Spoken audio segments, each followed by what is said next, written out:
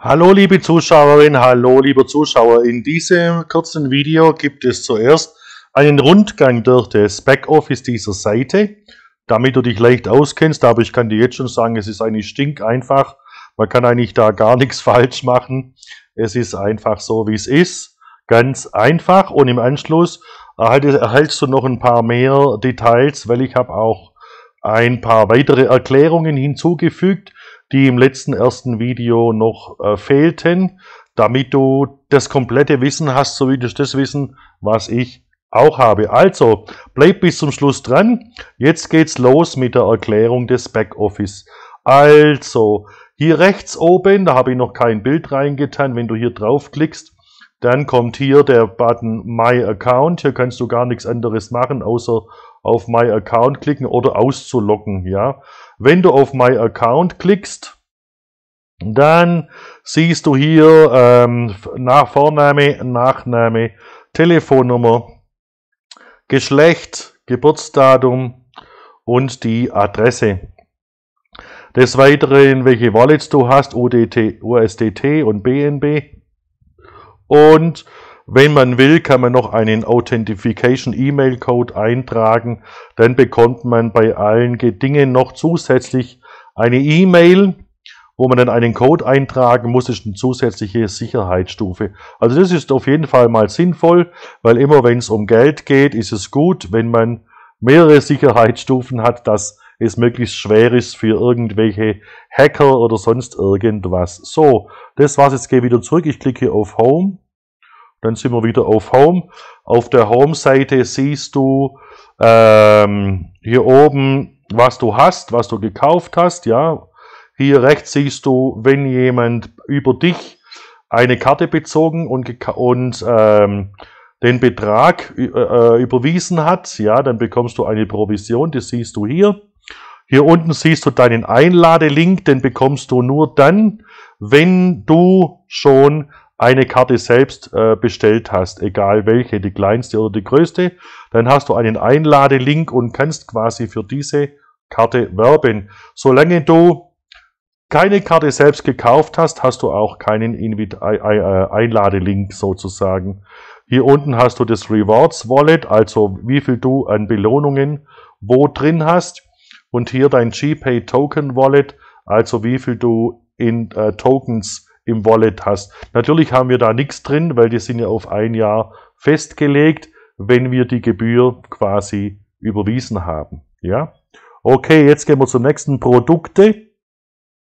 Ist auch ganz logisch. Hier siehst du die verschiedenen Produkte, die ich ja bereits erklärte und auch gleich im Anschluss noch mehr Erklärungen dazu liefere, beziehungsweise wiederholt sich die Erklärung ein bisschen zum Vorwiegen. Mehr kannst du hier nicht machen. Also wenn du hier draufklickst, du bestellst jetzt zum Beispiel GPay Elite, dann gehst du hier drauf, dann kannst du hier wählen, ob du USDT äh, mit der BNB Smart Chain überweisen möchtest oder mit der Tron äh, Blockchain, ja, das kannst du hier wählen. Und ich wähle jetzt mal eine aus, zack. Und dann geht es zur nächsten Seite, da hast du hier diesen QR-Code als Adresse, wohin du überweisen kannst, wenn du es zum Beispiel vom Handy aus machst. Und hier unten hieß dann nochmal die Adresse. Und hier wäre jetzt zum Beispiel der Betrag, den du überweisen musst. Ja, der steht dann hier drin. Okay, und im nächsten Schritt, wenn du es gemacht hast, kommt dann dann also erledigt. Auch ganz übersichtlich, einfach, man kann eigentlich gar nichts falsch machen, weil es geht alles ohne Umwege direkt. Unter Rewards siehst du quasi, wenn du Belohnungen bekommen hast, das siehst du dann hier, wann durch wen, also das ist den Username hier, ja, und bezahlt worden und was du für einen Betrag bekommen hast.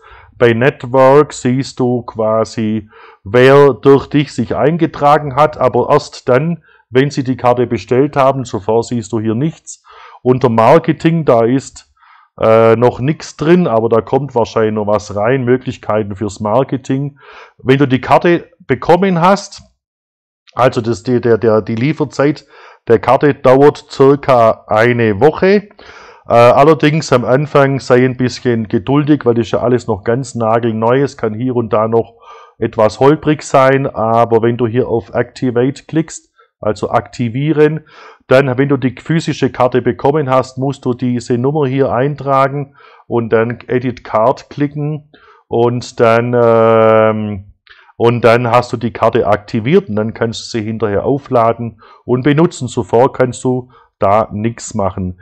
Invoices, also was, es an, was an Geld einbezahlt wurde, da steht bei, dir, bei mir noch, bei mir noch, noch nichts drin, weil ich habe es ja noch gar nicht bekommen.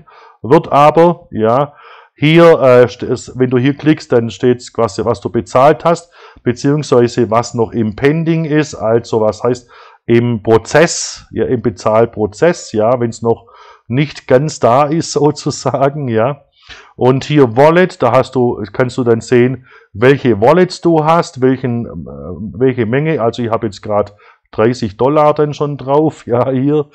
Cash-Out-Form, hier kannst du dann wählen, äh, aus was für einem Wallet ich auszahlen will, aus dem GPay Token Wallet, aber habe ich ja noch keine, ja, die liegen ja fest. Rewards Wallet aus dem Belohnungs Wallet könnte ich hier auch was auszahlen lassen, ja. Und dann kann ich das hier machen. Und unter My Account sehe ich wieder hier, was ich auch sehe, wenn ich hier rechts oben klicken würde. Das ist alle, eigentlich alles, was du hier im Moment siehst. Das kann sein, äh, hier kann man noch auf Card klicken, ja. Dann müssen wir wieder hier die Karte eintragen und bei Security, da kann man wieder hier das Passwort ändern, ja. Und hier steht, wenn ich mich das letzte Mal eingeloggt habe, äh, mit welcher IP-Nummer Nummer und so weiter und so fort, ja. Also alles, was du hier hast, ist sehr übersichtlich einfach.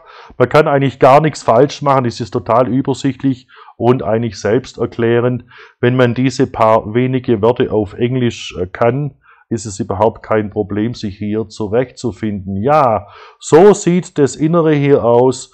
Äh, wenn, so kommst du hier ganz leicht zurecht. So, jetzt geht's weiter mit noch ein paar Erklärungen, damit du das vollkommene Wissen dir aneignen kannst. Jo! Hallöchen! In diesem Video möchte ich ein paar ergänzende Angaben machen, auch weil äh, Fragen auf mich zugekommen sind bezüglich der GPay Backkarte. Es ist also ein ergänzendes Video zu meinem vorherigen Video. Ich werde dieses vorherige Video ähm, hier auch verlinken, damit du und, in de, und unten in, den, in der Beschreibung auch den Link reinsetzen, damit du leicht Zugang hast zum ersten Video, weil das ist jetzt nur das zweite Video mit Angaben, die ich im ersten Video eben nicht machte. Also, was steht hier nochmal? Wir gehen alles gemeinsam durch. Es ist also die GPay Back Karte. Hier steht GPay Back. Weil wenn du in Google GPay eingibst, dann kommt Google Pay und, Pay und andere Dinge noch auch noch. Aber das ist was ganz anderes hier, ja?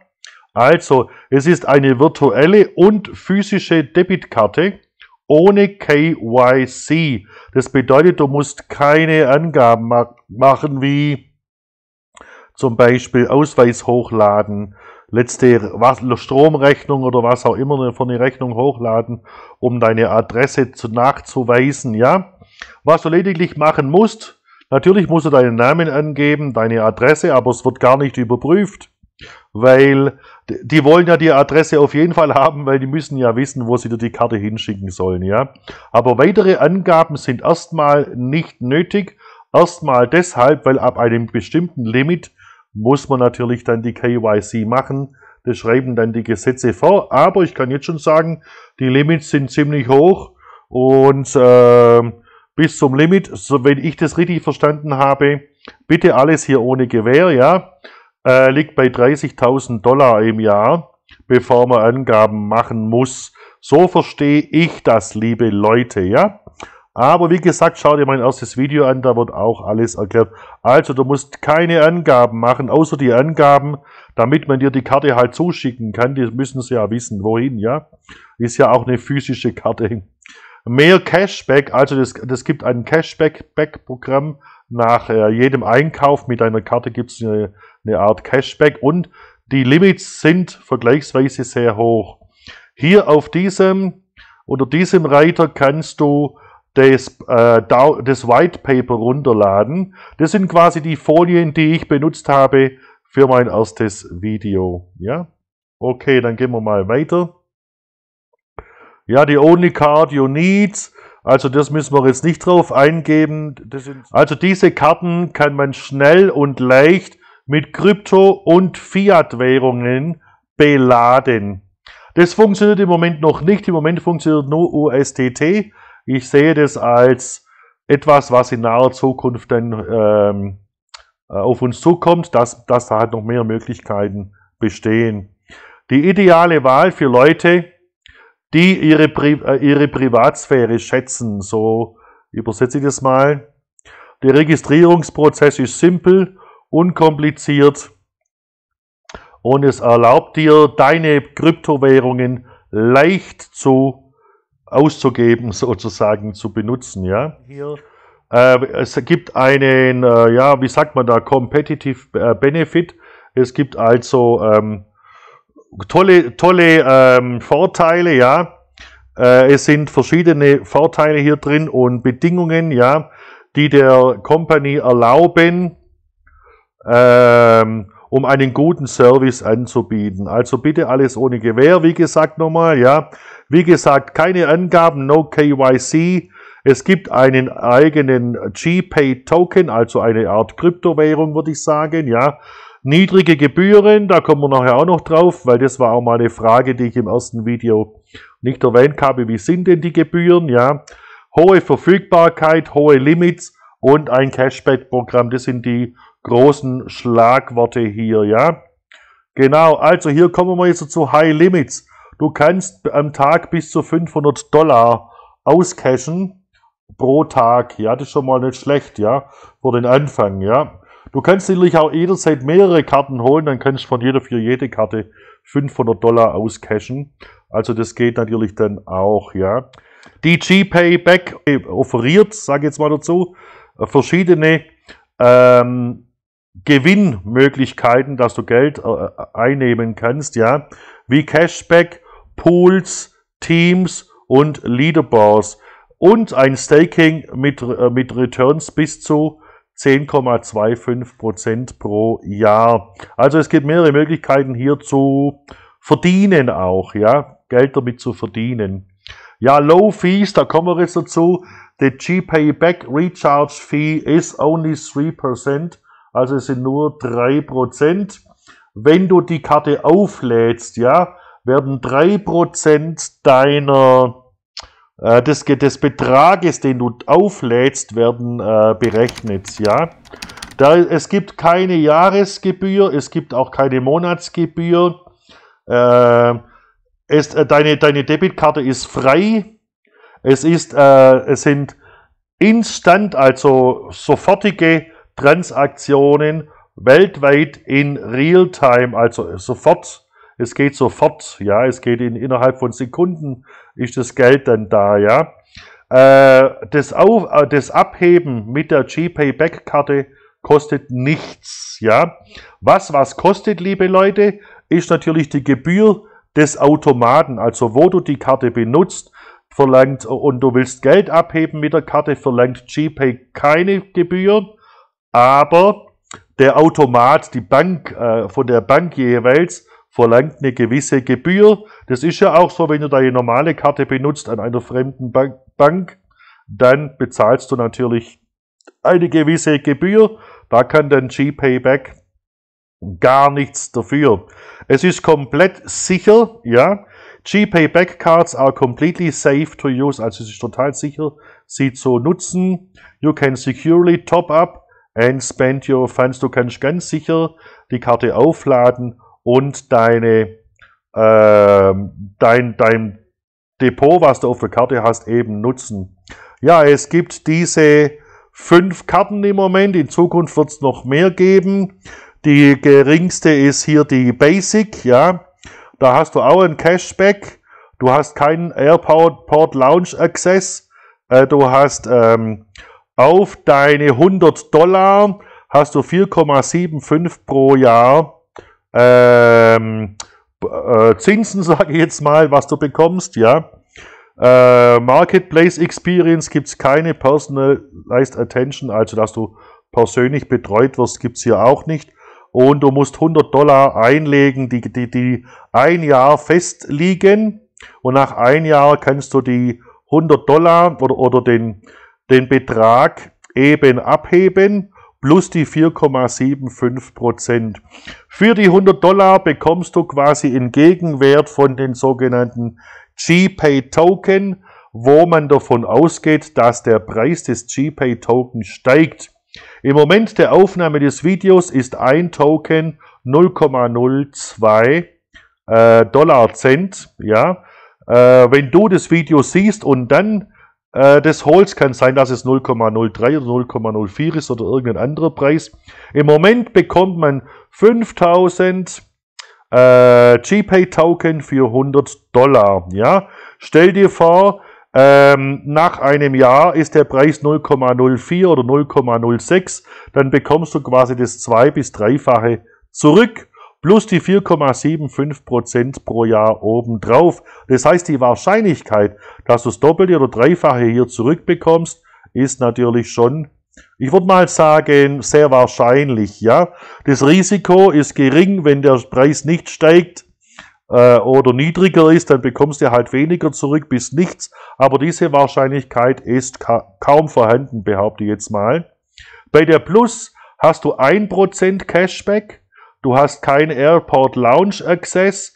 Du bekommst 6,25% pro Jahr auf das Staking. Ja, Staking heißt, dass äh, diese GPay Token werden für ein Jahr festgelegt. Das heißt, du musst erstmal bei der Basic 100 Dollar eingeben, hier 300 Dollar. Das ist quasi keine Bezahlung, sondern das ist einfach ein Festlegen für ein Jahr dieses Geldes und dann bekommst du den Gegenwert in GPay Token plus die Prozente hier oben eben zurück. Ich hoffe, ich habe mich da klar ausgedrückt. Du hast Marketplace Experiences, du hast keine persönliche Betreuung und 300 Dollar wurden dann gestaked im Gegenwert dieser GPay Token. Bei der Advance hast du dann 1,5% Cashback, keinen Airport Lounge Access, du bekommst 8,25%, Du hast Marketplace Experiences, du hast keine persönliche Betreuung und es werden 1000 Dollar gestaked, also für ein Jahr festgelegt im Gegenwert dieser GPay Token. Das ist natürlich dann schon mal enorm bei 1000 Dollar. Stell dir vor, der Preis steigt ums Fünffache, nachher kriegst du 5000 zurück. Wenn er ums Dreifache steigt, dann kriegst du 3000 zurück. Plus eben die 8,25% aufs Jahr, ja. Also gar nicht mal so schlecht. Aber wie gesagt, ähm, da gibt es natürlich keine Gewähr drauf. Auf die 8,25% schon, aber nicht, was der Wert des GPay-Token nach einem Jahr ist. Ja. So, jetzt wird spannender. Äh, hier hast du dann bei der Pro hast du Cashback 2%. Du hast Airport Lounge Access, ja. Das heißt, wenn du irgendwo am Flughafen bist, dann kannst du da in den Lounges dann da dich gemütlich äh, auf, aufhalten bis dein nächster Flug geht. Äh, das ist sehr äh, angenehm, das habe ich schon ein paar Mal gemacht, ja, in so einer Lounge. Viel angenehmer als da draußen in den Hallen zu verbringen. Bei der Hektik und der Bewegung da drin hast du es ruhig, relaxed, kannst was essen, was trinken. Oft ist das dann sogar inklusive, ja, und so weiter. Sehr cool. Okay, du bekommst äh, 8,75% pro Jahr. Du hast einen Shopping Club, also mit Vorteilen beim Einkaufen an verschiedenen Shopping-Möglichkeiten. Du hast persönliche Betreuung und es werden 4000 Dollar gestaked. Also du bekommst nach einem Jahr äh, die 4000 Dollar im Gegenwert von GPay-Token zurück, je nachdem, was der GPay-Token eben wert ist. ja. Und bei der Elite kriegst du 3% äh, zurück, Cashback bei, bei, beim Einkauf. Du hast natürlich auch Airport Lounge Access äh, und plus einen Gast kannst du noch dazu mitbringen. Du hast GPay Earn 10,25% pro Jahr, ja. Shopping Club natürlich auch, persönliche Betreuung und es werden 10.000 Dollar gestaked. Also wenn du 10.000 Dollar übrig hast, ähm, die du jetzt nicht zum Leben unbedingt brauchst, ist es vielleicht gar keine so eine Art schlechte Idee, die 10.000 da reinzuhauen, hast eine geile Karte mit einem hohen Limit und nach einem Jahr ist die Wahrscheinlichkeit ziemlich groß, dass du deutlich mehr als 10.000 Dollar zurückbekommst. So, mal, sorry, mein Hund bellt. In diesem Video möchte ich noch ein paar Sachen erwähnen, die ich im letzten Video nicht erwähnt habe, weil ich nicht wollte, dass es noch länger wird's, ja. Aber hier an dieser Stelle sage ich jetzt mal noch, hier unten steht, ja, wo meine Maus ist, GPay Earn pays you interest on GPay Tokens. Also sie bezahlen dir, wie ich schon erwähnte, äh, quasi äh, Zinsen, ja, auf die GPay Tokens, nachdem du es ein Jahr gestaked hast. Äh, die, die Bezahlungen sind auf dieser Basis kalkuliert. Uh, this means an increase in value in US Dollar when GPay grows. Das bedeutet eine äh, erhöhte Zurückzahlung in Dollar, falls der GPay grows, also äh, wächst, also im Wert zu, zulegt, was eigentlich auch sehr wahrscheinlich ist. Dann steht hier noch, wenn du eine aktive GPay Pro Stake acquired during the launch phase, also wenn du das während der Launchphase, wir sind ja noch kurz nach der Launchphase, da ist der Preis noch sehr niedrig, dann ähm, kann es schon sein, dass der Faktor über 5 ist nach dem Listen, wenn es gelistet wird, ja. Das heißt, dann hast du halt äh, einen ziemlich guten Zuwachs und einen schönen Gewinn nach einem Jahr, ja. So, dann wird ja hier über Marketplace, Marketplace Experiences gesprochen, das mit den zwei Sternchen. Da steht hier, äh, äh, bei äh, Kaufe Erfahrungen mit Rent, also mit Miet, Mieten wie ähm, Rent a Car, Reisen, Tickets, äh, Subscriptions, wenn du dich irgendwo einschreibst, Events, überall auf der Welt, ohne KYC, also ohne dass du dich irgendwo ähm, registrieren musst, beziehungsweise deine Daten angeben musst. OnCode.io, das weiß ich jetzt nicht, was es ist, vermutlich eine Webadresse, wo man das dann drüber machen kann. Mit, mit natürlich Discounts, also Ermäßigungen, speziellen Angeboten, äh, wenn du diese GPay-Card eben hast. Ja, und das gilt aber nur für die zwei höheren äh, Geschichten hier. Also ab, ab dieser äh, Pro und Elite halt, ja, so heißen die, glaub. Und die hier, da gibt es dann Access Promotions L2, Level 2, Level 1, da hat man einen ja, begrenzten Zugang zu irgendwelchen Promotions. Hier hat man das Starter Pass und hier hast du den Master Pass. Da hast du halt noch mehr, wird noch mehr geboten, ja. Okay, dann kommt hier ähm, Staking your GPay tokens for the assigned US Dollar value to receive your personal GPay Mastercard. Also du stakest, wie gesagt, die GPay Token. Äh, das ist dann dieses Sternchen hier, ja. Und hier unten, das finde ich auch noch spannend. Äh, die GPay-Karte ist in Mexiko, basiert auf mexikanischem Peso, ist sehr intelligent, weil der mexikanische Peso ist und wird wahrscheinlich auch bleiben deutlich stabiler mit weniger Inflation wie zum Beispiel Dollar, Euro und Co. Ja. Bank Commissions are exclusive, also sind ausgeschlossen Bankkommissionen und äh, bei, äh, von den ähm, eben den Institutionen, worüber das dann hier läuft, ja. Das ist vielleicht noch ganz spannend zu wissen. Hier dann nochmal zu kurz zur Wiederholung. Also ich habe ja die Karten schon vorgestellt, aber bei der unteren hast du ein jährliches Maximum zum Wiederaufladen bis 5000 US-Dollar. Bei der höheren, bei der nächsten Plus 10.000 US-Dollar, bei der Advanced 30.000 US-Dollar. Und hier steht dann, wenn du das Recharge, also Wiederaufladungslimit erreicht hast von 5000, 10.000, 30.000, 50.000, 100.000, ja, dann kannst du ähm, das erneuern, wenn du einfach eine neue Karte holst und dann musst du halt nochmal 1000 Dollar oder was auch immer staken, ja. Oder du kaufst ein höheres Paket dann anschließend. Ja, das wäre zum Beispiel auch möglich. Du kannst auch deine Limits erhöhen, äh, wenn du dann aber einen KYC machst, und das geht nur ab der Advance-Karte, also bei den zwei unteren Karten kannst du kein Limit erhöhen. Du kannst aber eine zweite Basic- oder Plus-Karte kaufen oder eine dritte oder eine vierte oder eine fünfte. Was heißt kaufen? Du musst halt nochmal Geld staken, was du ja zurückbekommst, ja. Und ab der Advance-Karte kannst du auch dein Limit erhöhen oder eben auch nochmal eine zweite holen und nochmal 1000 Dollar staken, ja. Äh, also wie gesagt, du, das, die 1000 Dollar ist keine Bezahlung letztendlich. Du legst es ja nur für ein Jahr das Geld fest und das, was dann der GPay-Token wert ist. Plus die Prozente, wie ich es erwähnt habe, das bekommst du dann zurück.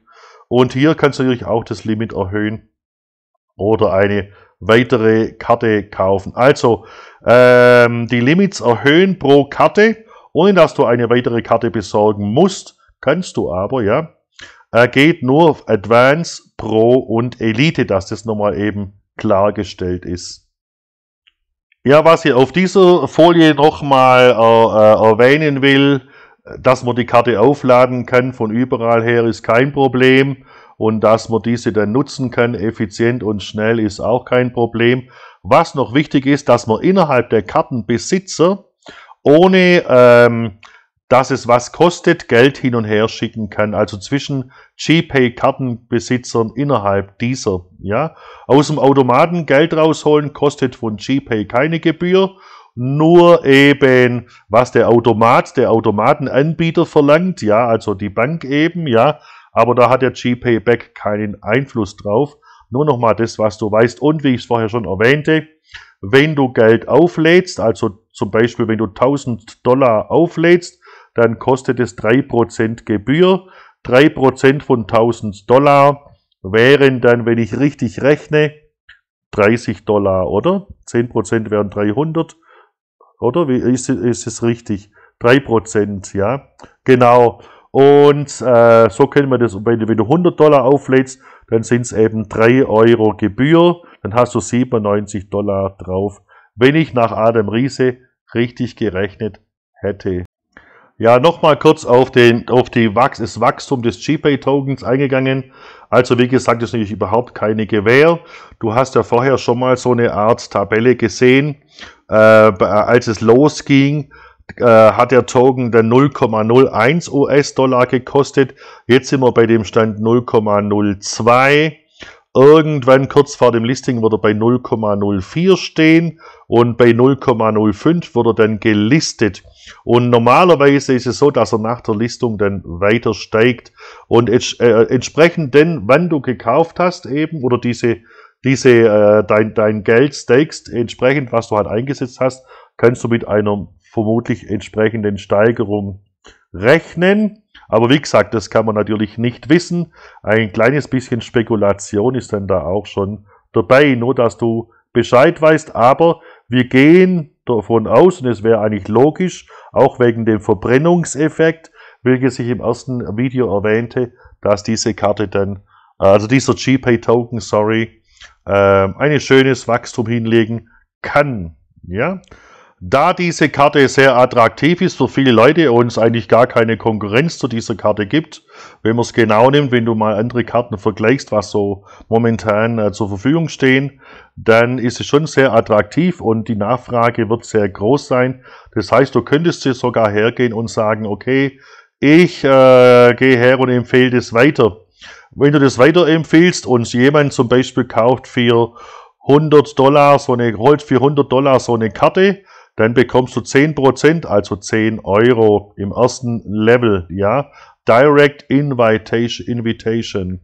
Ähm, wenn jetzt jemand für 10.000 was holt, dann hast du halt einen Tausender, ja, das ist auch nicht schlecht. Ähm, auf das zweite Level bekommst du nur 7, 7% und im dritten Level nochmal 3%.